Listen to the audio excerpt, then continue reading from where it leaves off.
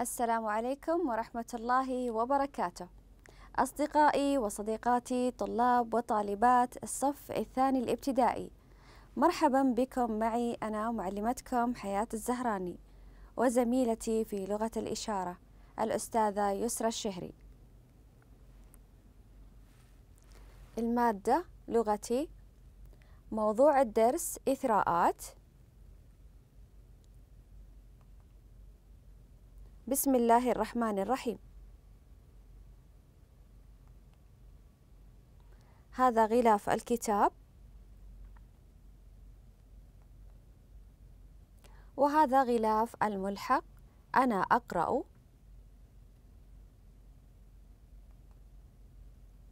سنجد الملحق في الصفحات التي تبدأ من الصفحة رقم 151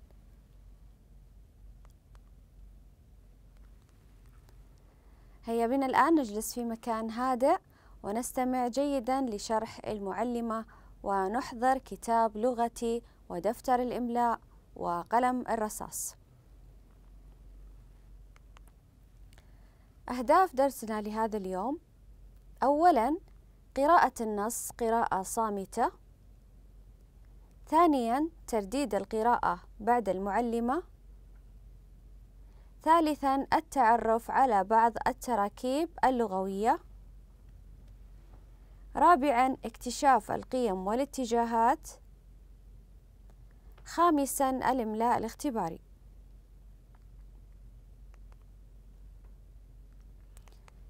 سنفتح الكتاب أصدقائي على الصفحة رقم 158 نريد الآن أن نشاهد هذه الصور. نشاهد الصورة. ماذا نشاهد؟ أحسنتم فواز. وزميله في المدرسة. يبدو من الصورة أنهما في المدرسة في الفصل.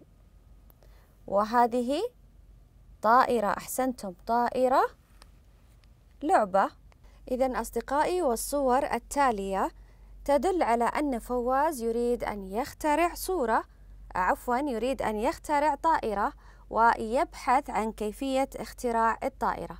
أريد منكم الآن قراءة النص قراءة صامتة وضع خط تحت الكلمات التي يصعب علينا قراءتها.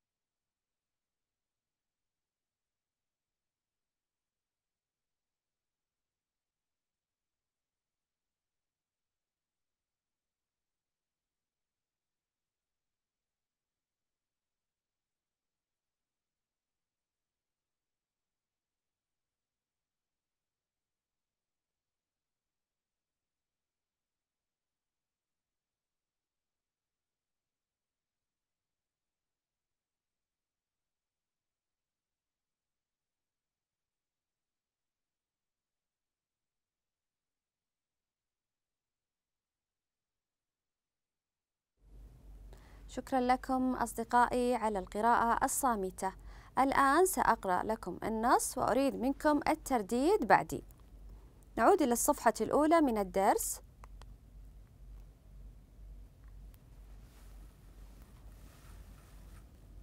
المخترع الصغير. نردد بعد المعلمة. فواز مخترع صغير.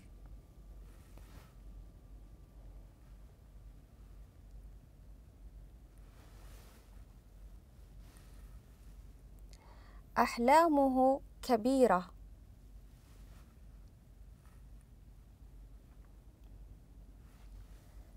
قال فواز لحازم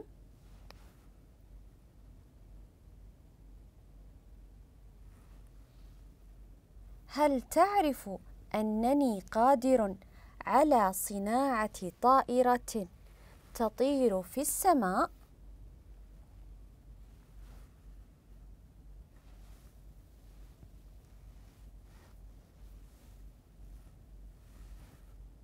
مرة أخرى هل تعرف أنني قادر على صناعة طائرة تطير في السماء؟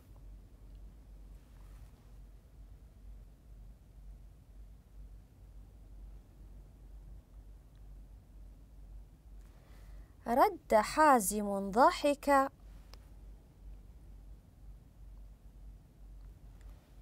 طائرة تطير.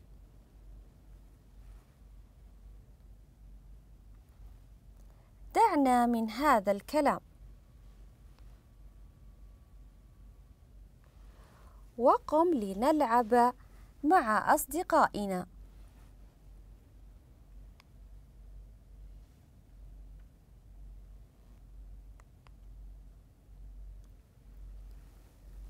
انزعج فواز وأراد أن يثبت قدرته.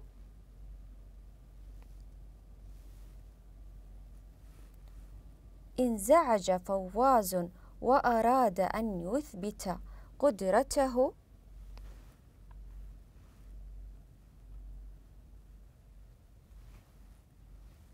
على صناعة طائرة تطير.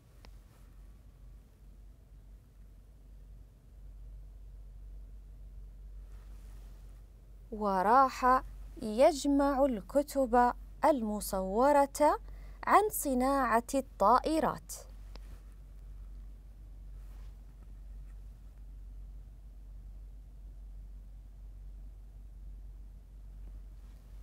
واشترى الأدوات اللازمة.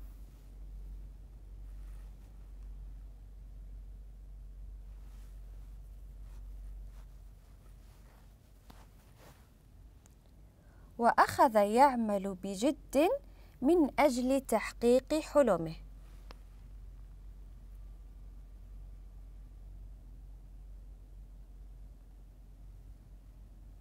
نعيد الجملة. وأخذ يعمل بجد من أجل تحقيق حلمه.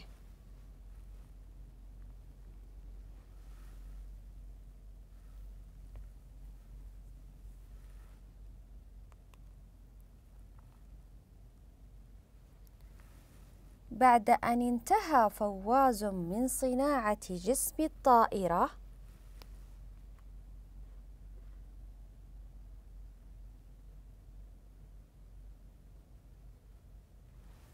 ركب الجناحين فالعجلات.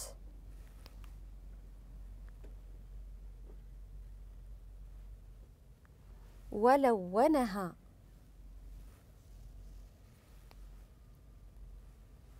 ورسم عليها شعار الطائرات السعودية.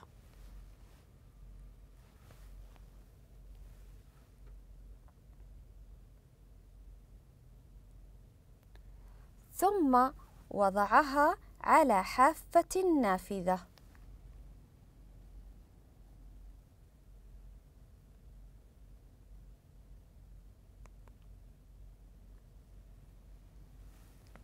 عندما رآها حازم قال بتعجب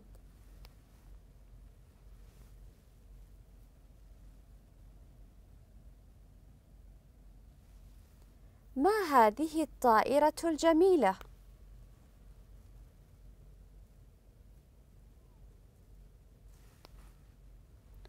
وما هذان الجناحان القويان؟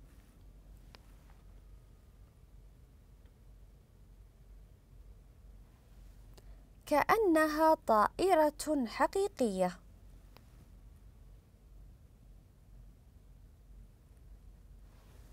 ولكن هل هي تطير؟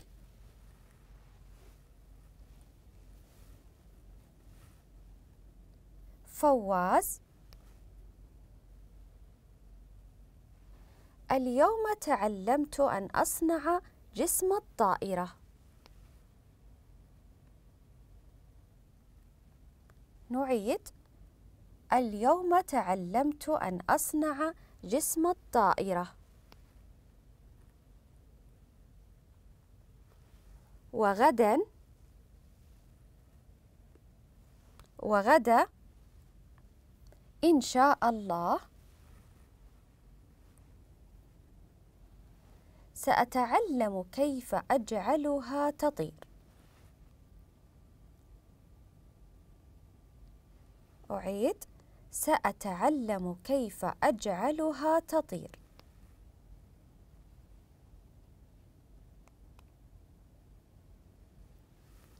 حازم. ما أجملها؟ أتمنى أن أصنع مثلها.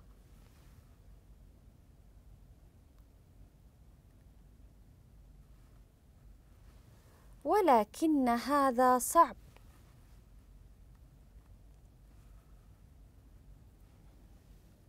فواز أنت قادر على ذلك يا صديقي.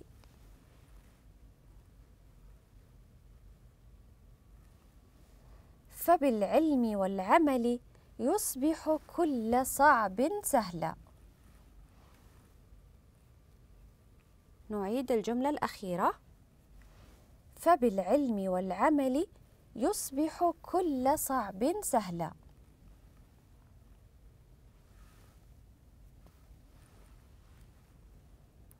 شكرا لكم أصدقائي على حسن الترديد بعد قراءتي. نعود للصفحة الأولى. من الدرس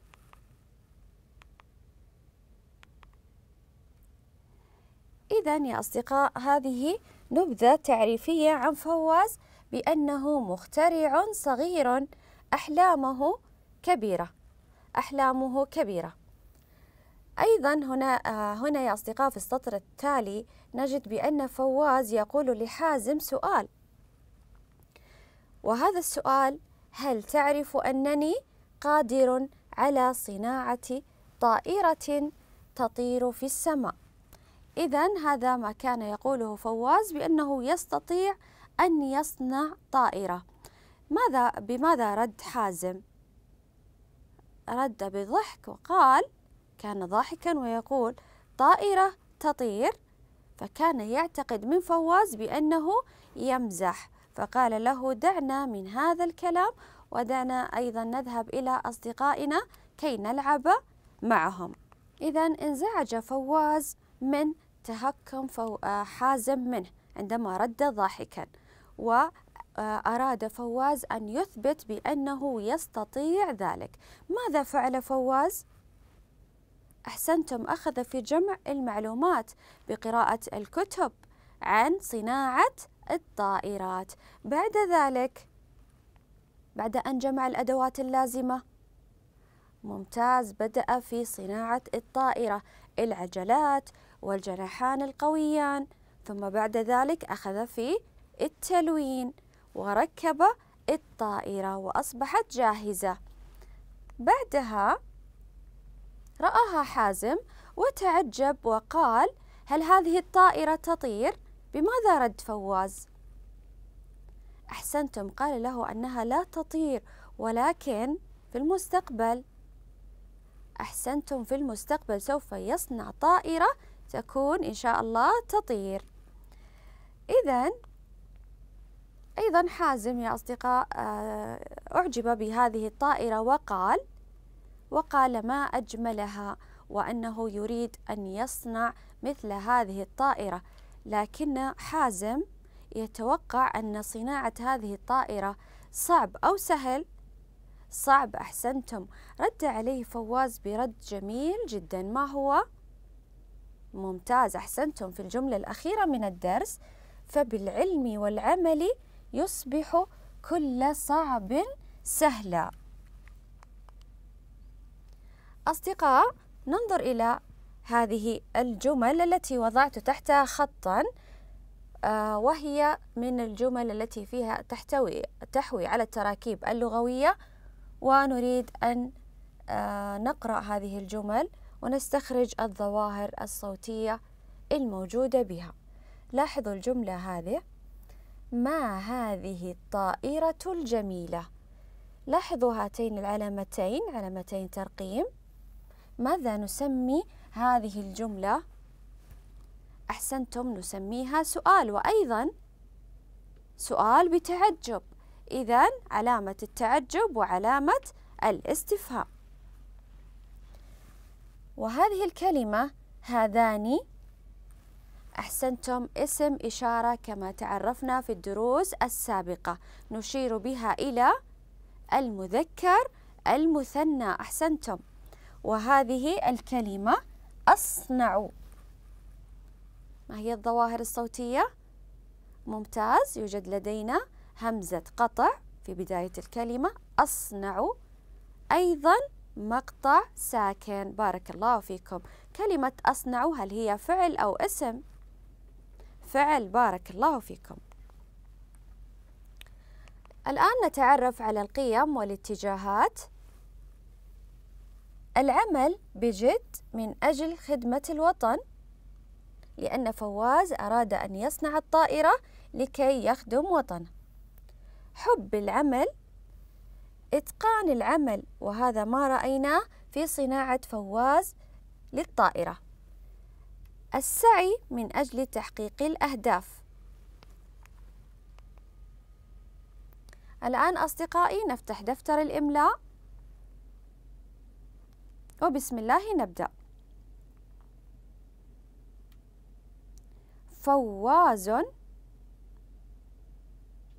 فواز. نقطتان رأسيتان. أنت أنت قادر قادر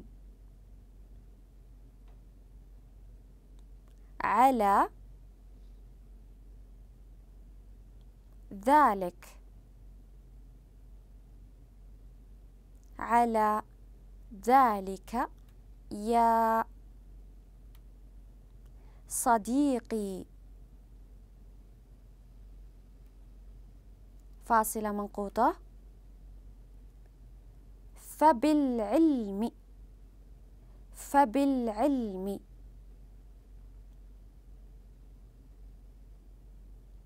والعمل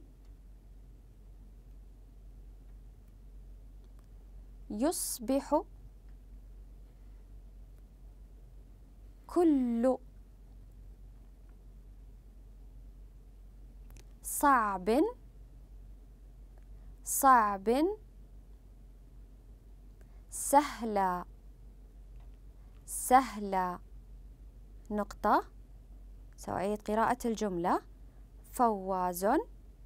نقطتان رأسيتان. أنت. قادر على ذلك يا صديقي. فاصلة منقوطة.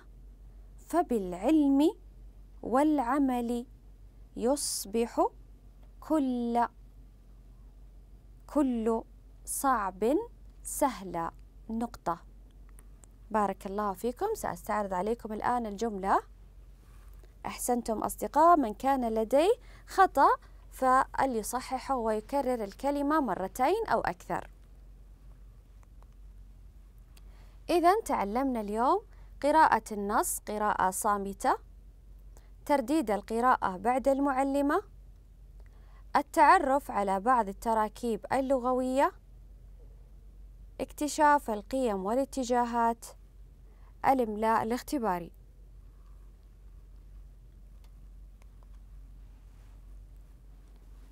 شكرا لكم أصدقائي على متابعتكم. أتمنى لكم التوفيق. في أمان الله.